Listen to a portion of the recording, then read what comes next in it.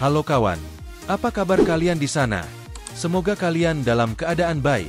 Kali ini kita akan membahas alur film Kill Boxon yang dirilis pada tahun 2023. Sebelum lanjut, sebaiknya kalian subscribe dulu agar tidak ketinggalan cerita seru selanjutnya. Kalau begitu langsung kita ke alur ceritanya. Film dibuka dengan memperlihatkan kita adegan seorang pembunuh bayaran wanita. Dirinya lagi berhadapan dengan seorang anggota Yakuza di sebuah jembatan yang terletak di pusat negara Korea. Saat itu sempat terjadi pertarungan yang cukup sengit. Dengan bermodalkan sebuah kapak, wanita tersebut berhasil mengimbangi skill bela diri anggota Yakuza. Di tengah pertarungan, wanita itu diketahui bernama Gil Boksan. Dirinya sempat kesulitan melawan anggota Yakuza, akan tetapi di balik kesulitannya, ternyata Bokson mempunyai kemampuan yang tidak dimiliki oleh lawannya, yaitu memprediksi masa depan. Tetapi saat anggota Yakuza itu tidak fokus, Secara mengejutkan Bokson menembakkan beberapa tembakan yang membuat pria tersebut seketika tewas. Pada keesokan harinya, berita tentang kematian tersebut langsung tersebar di saluran TV seluruh dunia. Tentu aja hal tersebut membuat atasan Bokson sangat merasa puas atas kinerja anak buahnya. Selain itu diketahui bahwa Bokson bekerja di sebuah perusahaan yang dipimpin oleh dua orang kakak beradik. Dan diketahui mereka bernama Min Hee dan juga Min Kyu. Pada malam hari, Bokson mendatangi kafe langganan bersama teman-temannya, yaitu para pembunuh bayaran juga. Di tengah perbincangan mereka semua, Bokson tempat tersinggung oleh perkataan seseorang. Dia berkata bahwa Bokson sudah tua, dan masa kejayaannya telah berakhir. Di tempat lain, Yongji malah terlihat asik bermain bersama teman wanitanya. Tak lama kemudian, mereka berdua tiba-tiba dihampiri oleh teman sekolahnya, yang seketika mengajaknya untuk pesta di sebuah klub. Pada keesokan harinya, Bokson mendatangi kantor tempat dirinya bekerja dengan maksud untuk menemui Min Kyu karena ada tugas yang harus segera diselesaikan. Akan tetapi saat sampai di lobi kantor, ia tiba-tiba dihampiri oleh Direktur Cha yang seketika menantangnya untuk bertarung dengan seorang karyawan magang. Lalu Bokson terpaksa memenuhi keinginan Direktur, lantas Bokson bertarung dengan anak magang tersebut.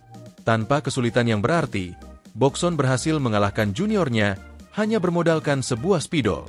Singkat cerita, Min Kyu kemudian menyuruh Bokson untuk memilih salah satu pekerjaan yang hanya bisa dilakukan olehnya. Kemudian sebagai seorang ibu, Bokson memilih pekerjaan di negaranya, ketimbang harus pergi membunuh orang ke negara Rusia. Kemudian, mereka berdua memutuskan untuk makan siang di sebuah restoran sederhana. Sambil mengenang masa lalu, saat mereka berdua bertemu untuk pertama kalinya. Keesokan harinya, Min Kyu kemudian menghubungi Bokson dengan maksud untuk sekedar menanyakan kabar Yongji. Singkat cerita, tibalah saatnya mereka berdua menjalankan misi masing-masing. Dibuktikan dengan keberadaan Min Kyu, yang baru aja sampai di sebuah bandara yang terletak di negara Rusia. Di sisi lain, Bokson juga tengah bersiap dengan peralatan yang sudah disediakan, dan misinya kali ini akan ditemani oleh Hyun Min. Adegan berpindah ke Min Kyu, yang terlihat sedang bersantai di sebuah bar dengan ditemani minuman keras. Tanpa membuang waktu di sana, akhirnya Min Kyu langsung menjalankan aksinya. Tanpa kesulitan melakukan aksinya, Min Kyu berhasil menghabisi semua orang di sana. Beralih ke tempat lain, Bokson tiba-tiba memutuskan untuk membatalkan misi pembunuhan, karena dirinya beranggapan bahwa targetnya kali ini adalah seorang anak di bawah umur. Selain itu, dirinya juga beralasan bahwa bocah tersebut tidak mengetahui apa-apa. Pada keesokan harinya, Min Kyu mengetahui bahwa Bokson memutuskan untuk membatalkan misi pembunuhan. Seketika Min Kyu menelepon adiknya dan langsung menyuruhnya untuk menutup kasus agar tidak tercium oleh pihak kepolisian. Akan tetapi direktur seketika merasa murka karena misi tersebut termasuk level tertinggi, yang mana akan menghancurkan reputasi mereka sebagai perusahaan ternama. Adegan beralih ke masa lalu Min Kyu, di mana pada saat itu masih menjadi seorang pembunuh bayaran muda. Dan ternyata dari sini didapatkan sebuah fakta mengejutkan, bahwa pada saat itu ayah Bokson pun pernah menjadi target sasaran dari Min Kyu. Dengan alasan yang belum diketahui, alih-alih berusaha melawan karena memergoki ayahnya sedang mendapatkan ancaman. Kemudian, Bokson saat itu malah membantu Min Kyu membunuh ayah kandungnya, dengan cara menggantungnya dengan sebuah tali. Sejak saat itu, Min Kyu mengajak Bokson untuk bekerja sama, karena dirinya merasa bahwa Bokson memiliki potensi sebagai seorang pembunuh bayaran profesional. Merasa bahwa misi yang gagal dilakukan oleh Bokson termasuk kategori tertinggi yang bisa merusak reputasi perusahaan. Direktur ternyata mempunyai rencana lain, yaitu menyuruh seseorang untuk menyelesaikan misi tersebut. Dan ternyata orang yang dipilih olehnya adalah Han, seorang pembunuh bayaran kelas bawah yang tentunya tidak sebanding dengan kemampuan Bokson. Adegan kemudian berpindah ke rumah Boson. Terlihat Yongji saat itu memberitahu ibunya alasan atas penyerangan teman sekolah yang dilakukan olehnya. Dan ternyata alasan Yongji menyerang teman sekolahnya karena orang tersebut mempunyai foto Yongji sedang bermesraan dengan teman wanitanya. Tentu saja hal tersebut seketika membuat Bokson merasa marah. Akan tetapi Bokson saat itu berusaha menahan emosinya, karena dirinya enggak mau membuat Yongji menjadi frustasi. Tak lama kemudian, Bokson tiba-tiba didatangi oleh Hyun Min. Dirinya saat itu mengatakan bahwa dirinya baru aja dipecat dari perusahaan MK. Selain itu, Hyun Min juga berkata bahwa direktur beralasan pemecatan tersebut akibat dirinya menjadi penghalang saat menjalani misi dengan Bokson. Tanpa ambil pusing, Bokson kemudian mengajak Hyun Min makan siang di kafe biasa. Tak lama kemudian, datanglah pembunuh bayaran lainnya. Di sana sempat terjadi perbincangan cukup serius, karena Bokson kini telah mengetahui bahwa misi tersebut telah diselesaikan oleh Han. Min Kyu yang mendengar bahwa direktur telah menyelesaikan misi pembunuhan anak-anak di bawah umur. Seketika Min Kyu merasa murka dan langsung memarahi adiknya. Kemudian merasa bahwa kakaknya lebih memihak kepada Bokson.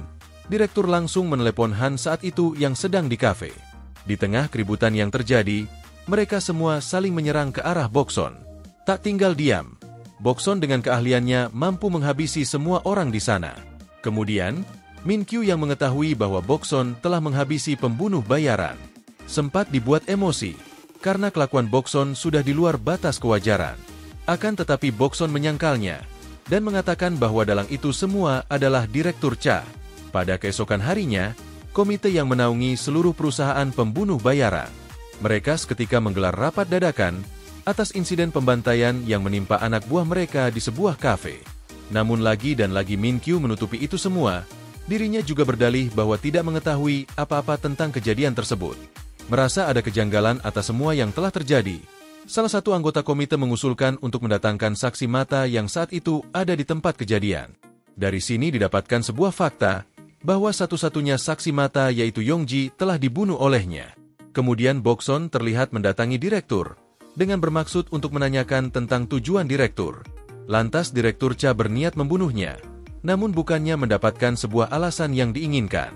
Bokson malah mendapatkan sebuah kabar mengejutkan, bahwa Yongji telah dibunuh oleh Min Kyu. Lalu Bokson merasa, apa yang telah dilakukan oleh Min Kyu sudah keterlaluan. Bokson memutuskan untuk menghabisi Direktur Cha, karena dia beranggapan bahwa hal tersebut setimpal dengan kematian Yongji. Kemudian, Min Kyu yang telah mengetahui bahwa adiknya telah dibunuh oleh Bokson, kemudian menerima tantangan tersebut, dan langsung menelepon Bokson agar datang ke sebuah tempat yang telah ditentukan. Kemudian tanpa membuang-buang waktu, Bokson segera mendatangi tempat yang dimaksud, dan sempat terjadi obrolan cukup menegangkan antara kedua orang ini. Hingga setelah berbincang cukup lama, akhirnya mereka berdua mencapai kesepakatan bahwa akan bertarung sampai mati tanpa ada yang melarikan diri.